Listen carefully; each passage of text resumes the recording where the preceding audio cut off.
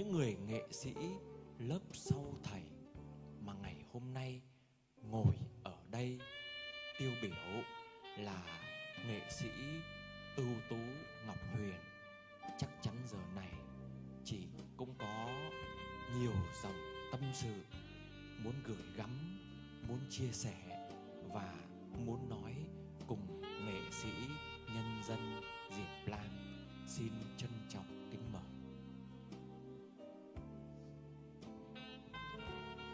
Nam mô Bổn sư Thích Ca Mâu Ni Phật. Nam mô Tiếp dẫn đạo sư A Di Đà Phật. Con kính bạch hòa thượng cùng chư tôn đức tăng ni Phật tử.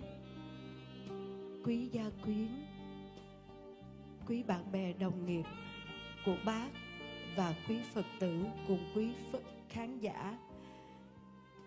Lời chân thành cảm ơn sâu sắc đã có mặt tại buổi lễ tưởng niệm cầu siêu của bác Diệp Lan ngày hôm nay.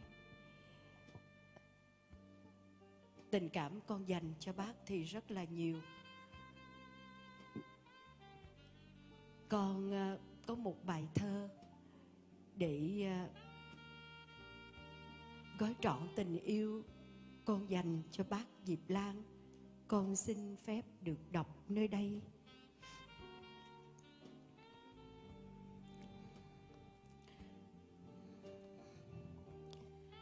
Hữu duyên, hữu phước, từ kiếp nào?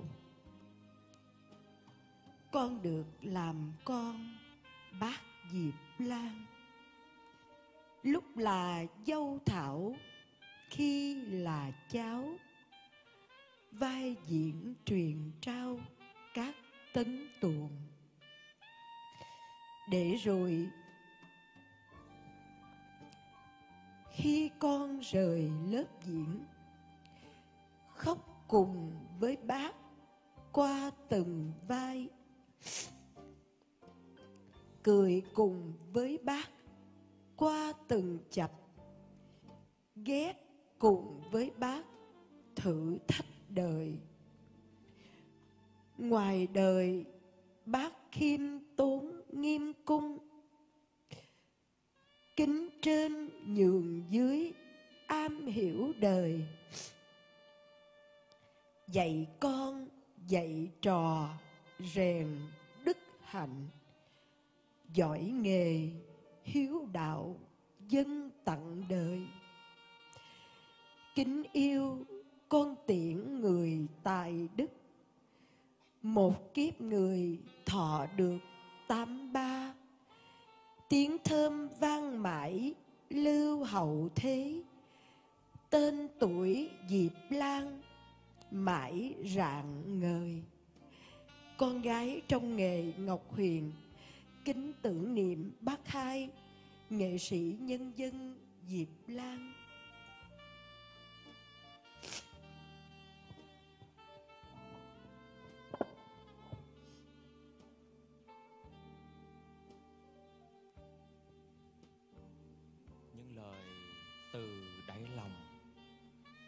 Những lời của người ở lại chắc chắn bác đang nghe và rằng dù ở bất kỳ cảnh giới nào, tâm kết nối với tâm có hẳn bác sẽ thấu hiểu tâm tư, tình cảm của những người ở lại. Và niềm đau xót lớn nhất đó là những người đã cùng với bác từng ngày, từng tháng, đã cùng với bác từng chặng đường, đã cùng với bác trong mọi sinh hoạt thường ngày. Hôm nay khi đi ra khỏi cửa nhà, trở về, không còn thấy bác nữa tiếng gọi cha, tiếng gọi bác, tiếng gọi ông đã xa rồi, chỉ còn lại hình ảnh người xưa. Và giờ phút này là những tâm sự của người ở lại, những người thân, những người trong gia đình của bác.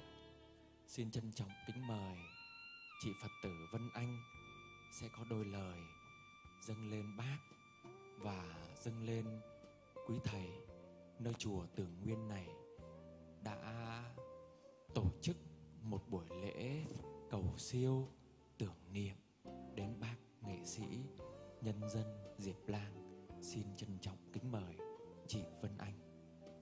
Dạ, kính bậc chư tôn đức chứng minh kính thưa các bậc trưởng thượng trong nghề các bậc tiền bối bạn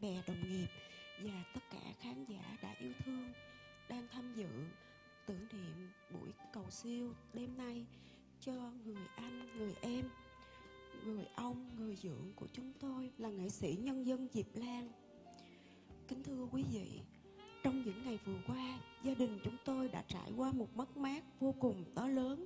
Dẫu biết sinh lão bệnh tử là quy luật tất yếu của một đời người nhưng sự ra đi của em của chú của dưỡng, của ông chúng tôi là nghệ sĩ nhân dân diệp lan đã để lại trong lòng tất cả những người ở lại một khoảng trống quá lớn và không có gì có thể bù đắp nổi. Đó không chỉ là nỗi mất mát của nền sân khấu nước nhà, một cây đại thụ của cải lương Việt Nam với những đóng góp to lớn, với cống hiến không mệt mỏi cho sự nghiệp của nghệ thuật cải lương, ông đã vừa nằm xuống. Với những người trong gia đình chúng tôi, đó còn là một không thể diễn tả bằng lời. Khi một người mà chúng tôi rất mực, tôn kính, yêu thương, là một tấm gương sáng cho con cháu về đạo đức, về lối sống, một chỗ dựa ấm áp, vững chắc về tinh thần đã không còn bên cạnh chúng tôi, để dìu dắt chúng tôi, để che chở chúng tôi, để nâng đỡ chúng tôi trong suốt cuộc đời còn lại nữa. Trong niềm thương tiếc vô hạn dành cho người đạo khuất, chúng tôi xin được tỏ lòng biết ơn đối với những người có vai trò rất đặc biệt với gia đình chúng tôi. Đó là nghệ sĩ ưu tú ngọc huyền, đó là gia đình của nghệ sĩ châu thanh là đạo diễn xuân phúc. Và anh chị em nghệ sĩ với sự hỗ trợ hết mình của thượng tọa thích minh phú, trụ trì chùa tường nguyên, đã thay mặt gia đình chúng tôi ở mỹ tổ chức một đêm tưởng niệm cầu siêu cho người anh, người em người chú, người dượng người ông chúng tôi tại việt nam trong không khí thân tình, ấm cúng, trang nghiêm, an ninh tuyệt đối, đúng như mong đợi của gia đình chúng tôi. Nhờ tấm lòng chân tình này mà những người thân trong gia đình của cố nghệ sĩ nhân dân Liệt Lan còn sinh sống ở Việt Nam cũng như nhiều thế hệ nghệ sĩ và đông đảo khán giả ở quê nhà có một cơ hội để tề tụ thắp nén hương lòng tiễn biệt người nghệ sĩ tài hoa của chúng ta về nơi đất mẹ. Tham gia chương trình tưởng niệm hôm nay, gia đình chúng tôi cũng không tránh khỏi những sơ sót, cho nên chúng tôi rất mong nhận được sự thông cảm và lượng thứ của quý vị thay mặt gia quyến chúng tôi xin được cúi đầu tri ân những tình cảm yêu thương và trân trọng của quý vị đã dành cho em cho chú, cho dượng cho ông chúng tôi. Dạ một lần nữa tôi xin trân trọng, cảm ơn. Dạ.